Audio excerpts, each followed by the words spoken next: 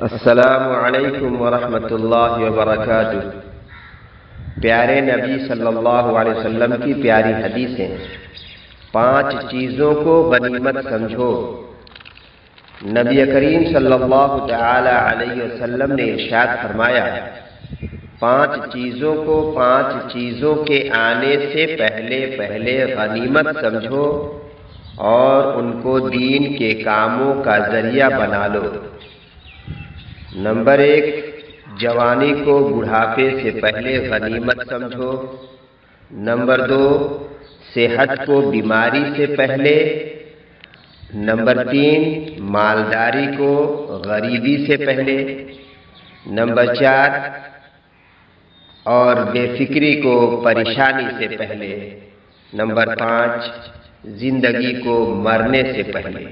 ترمیزی ساری دنیا کی نعمتوں کے برابر نبی اکرم صلی اللہ علیہ وسلم نے ارشاد فرمایا، جو شخص تم میں سے اس حالت میں صبح کرے کہ اپنی جان میں پریشانی سے امن میں ہو اور اپنے بدن میں بیماری سے عافیت میں ہو اور اس کے پاس اس دن کے کھانے کے کھانے کو ہو اور جس سے بھوکا رہنے کا اندیشہ نہ ہو۔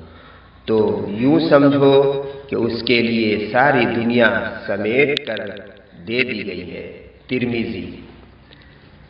دنیا طلب کرنے کا مقصد۔ نبی اکرم صلی اللہ علیہ وسلم نے ارشاد فرمایا کہ جو شخص حلال دنیا کو اس لیے مانگتا ہے کہ مانگنے سے بچا رہے اور اپنے اہل و عیال کے ادائے حقوق کے لیے کمایا کرے اور اپنے پڑوسی پر توجہ رکھے، تو اللہ تعالی سے قیامت کے دن ایسی حالت میں ملے گا کہ اس کا چہرہ چودہویں رات کے چاند جیسا ہوگا۔ دوا کیا کرو۔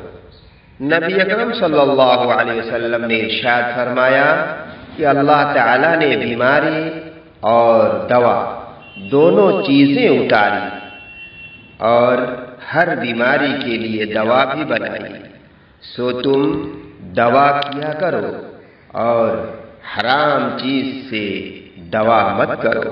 ابو داود معدہ کو درست رکھو۔ نبی اکرم صلی اللہ علیہ وسلم نے ارشاد فرمایا کہ معدہ بدن کا حوض ہے اور رگیں اس کے پاس غذا حاصل کرنے آتی ہیں۔ سو اگر معدہ درست ہو تو وہ رگیں صحت لے کر جاتی ہیں اور اگر معدہ خراب ہو تو رگیں بیماری لے کر جاتی ہیں۔ محتاط غذا کھانا۔ نبی اکرم صلی اللہ علیہ وسلم نے ارشاد فرمایا، ایک موقع پر حضرت علی رضی اللہ تعالی عنہ سے عنہ سے فرمایا کہ یہ کھجور مت کھاؤ، تم کو نقاہت ہے۔ پھر میں چند، پھر میں چقندر اور جو تیار کیا۔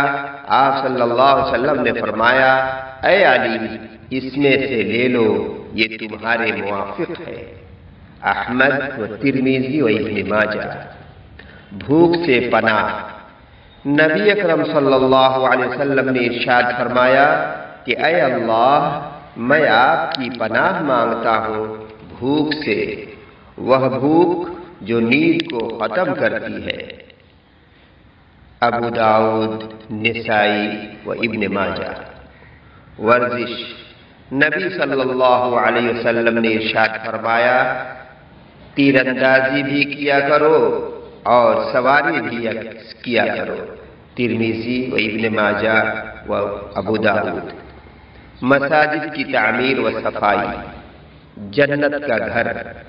نبی صلی اللہ علیہ وسلم نے ارشاد فرمایا، جو شخص کوئی مسجد بنائے جس سے مقصود اللہ تعالی کو خوش کرنا ہو اور کوئی بری غرض نہ ہو، اللہ تعالیٰ اس کے لیے اسی کی مثل اس کا گھر جنت میں بنا دے گا۔ بخاری و مسلم، جنت کا گھر مسجد سے بڑا ہوگا۔ نبی صلی اللہ علیہ وسلم نے ارشاد فرمایا جو شخص اللہ تعالی کے لیے مسجد بنائے گا، اللہ تعالیٰ اس کے لیے جنت میں ایک گھر بنا دے گا، جو اس سے بہت زیادہ لمبا اور چوڑا ہوگا۔ احمد، اللہ تعالی ہم تمام مسلمانوں کو ان باتوں پر عمل کرنے کی توفیق عطا فرمائے۔